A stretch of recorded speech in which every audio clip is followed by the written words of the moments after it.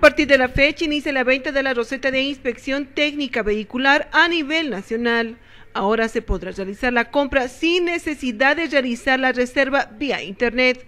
Solo tiene que pagar el servicio en una entidad bancaria. Es responsabilidad del conductor y del propietario mantener el, el vehículo en óptimas condiciones. Botiquín, llanta de auxilio, llave de gata, un extintor que tanta falta nos hace en la, en la cultura del, del conductor, ¿no es cierto?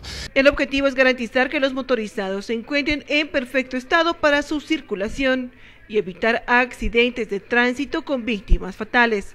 En Cochabamba se habilitó 22 puntos de inspección. Dos puntos en el Valle Alto, dos puntos en el Valle Bajo, es decir, Quillacollo, dos puntos de ITB en Sacaba y dos puntos en lo que es el trópico de Cochabamba. Debe contar con sus papeles al día. El motorizado debe estar en perfectas condiciones.